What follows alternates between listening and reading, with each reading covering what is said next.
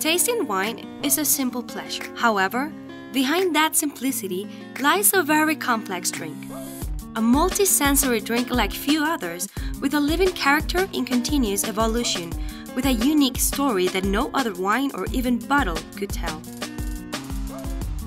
Wine is a universal drink. However, it is capable of transmitting the local essence, the cultural legacy of the land where it was born, as well as the emotions and illusions of the people who participated in its production. Tasting and learning about wine, apart from being a wonderful hobby, cheer our soul, heart, and mind, it allows us to be more social and creative people. And without a doubt, it helps us release stress and anxiety. Sharing it is even better.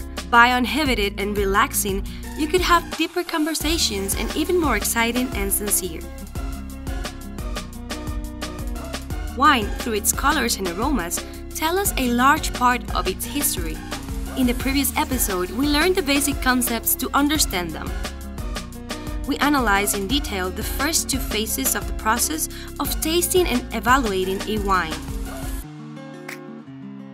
Today, we will complete the process of tasting wine and analyze our sensory impressions to describe, assess, and judge the wine. Stay tuned until the end.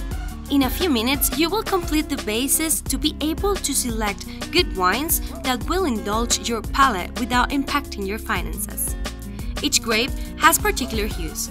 In the previous episode, we learned that observing the color of the wine will give us an idea of its age, body, type of grape it contains, or storage potential. We also learned that when observing the wine, we can appreciate the density or viscosity of the wine.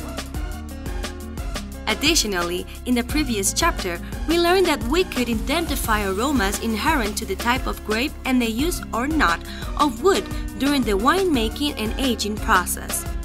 We made a complete analysis of the most frequent aromas that we can find in white wines, the most common scents that we can identify in red wine, and finally, the typical aromas in sparkling wines. We even analyzed the different aromas in wines aged using French or American oak barrels. In this sense, it is very important to mention that wine is a product of nature, processed by the man. Therefore, these aromas do not come from ingredients or essences that winemakers add to the wine. They are natural aromas of the grape that the wine contains, the land where it was grown, the ripening of the fruit, the hours of sun and rain during the growing season, harvesting time, and the management of winemaking techniques. We understood that aroma identification is a unique process, different in each individual since it depends on each person's sensory experiences. Finally, we conclude that these first two phases are useful in analyzing the expressiveness and connectivity of a wine.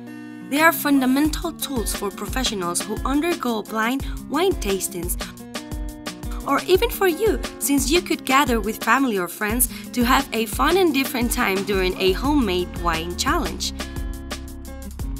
If you do so, please tell me in the comments how it worked. Now, let's continue. Let's taste the wine. We finally go to the part we like and enjoy the most. After observing the colors and appreciating the aroma, we must sip a little of the wine and distribute it throughout the mouth, making it run through the entire interior, allowing it to contact the surface of the tongue and all the taste buds. Next, we will ask ourselves, what feelings do we have? Physiologically, our tongue is capable of identifying Sweet, which we will appreciate on the tip of the tongue. Salty in the center towards the sides. Acidity, only noticeable from the sides. Bitter, that sensation that we have at the end of the tongue. Additionally, there are three impressions that we must consider when tasting wine. The thermal sensation at the bottom of the tongue towards the throat will tell us about the alcohol content. The weight or texture that we feel in the center of the tongue will help us describe the body, viscosity, and bubbles in the case of sparkling wines. And finally, to describe the tannins, we must analyze the sensation of astringency, dryness, or roughness in all the soft tissues of the mouth. To do so, we must first understand what tannins are. which is one of the most popular words used during a wine tasting. Tannins are a natural and vegetable chemical substance that comes from the skin, the stems, the seeds, or the wood of the barrels. They are more abundant in red wines than in whites. There are different tannins. Their presence in the mouth is easily recognizable since it appears as a sensation of astringency, roughness, or dryness in the gums, inner lips, and palate. The tannins that come from the seeds or stems are usually described as green tannins. The tannins from aging in oak barrels are often called dry tannins. While the sweet, soft, and integrated tannins indicate the grape's current ripeness and are responsible for some pleasant sensations, such as the velvety texture and long persistence on the palate. Qualities well valued by expert sommeliers and wine enthusiasts like me. Tannins should not be confused with acidity, which adds freshness to the wine and makes us salivate. Tannins are not a defect. It is quite the opposite. The development and softening of the tannins are among the most critical processes in the evolution of wine, since its quality often depends on it. Time matures the noble tannins, allowing the wine to evolve, rounding it up and making it more elegant, pleasant, and complex. On the other hand, the so called green tannins rarely soften with time. As we can see, tasting wine is easy, but we must keep our senses sharp. At the end of the three previous steps, we will analyze our conclusions to evaluate and describe the wine. This will require two evaluations a subjective one in which you will discern whether you like the wine or not, and an objective one in which you will evaluate the quality of the wine. By making a comparison with literature, you probably don't like to read Shakespeare, but you will agree that despite and beyond your likes, Shakespeare was a great writer. Each of us has a different subjective opinion. With practice, you can develop the ability to separate your likes and subjective opinion from the quality of the wine or objective assessment. For example, it is possible to love a particular wine while knowing it is not an excellent wine. To continue our evaluation, let's analyze the following fundamental qualities integration, is structure, texture, expressiveness, complexity, varietal character, and connectivity. We will evaluate the integration of the wine components to define its structure. A wine is balanced when there is a right balance between the basic flavors salty, sweet, sour, and bitter, and the other components such as tannins, astringency, and alcohol. For example, the term round is used to describe a wine where all these elements are perfectly balanced. Then, none stands out more than the other. Integration means more than balance, as it requires all components to blend harmoniously. We will also analyze the texture, usually defined with terms like silky, velvety, or satin. At this stage, we identify factors such as softness, intensity, body, volume, tannins, or astringency, and roughness. Expressiveness is the quality that a wine possesses when its aromas and flavors are well defined and projected. To determine how expressive the wine is, it would help to analyze the retronasal passage.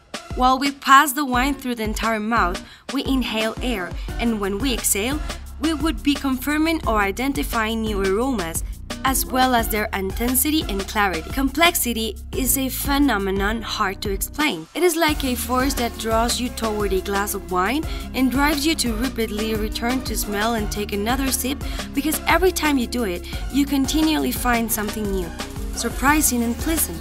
Wine is a complex drink both for its composition and the sensory message it sends to our receptors. Given its high evolution capacity, no two bottles have the same sensory profile. Even if those two bottles come from a single barrel process under the same method when isolated in their respective containers, the content in each bottle undertakes its own evolutionary adventure, which can create smooth or significant sensory and analytical differences. To understand the varietal character and connectivity of the wine, We need to determine whether a given wine has the aroma and flavors inherent to the grapes it contains, or whether it has a connection or link with the plot of land it was born.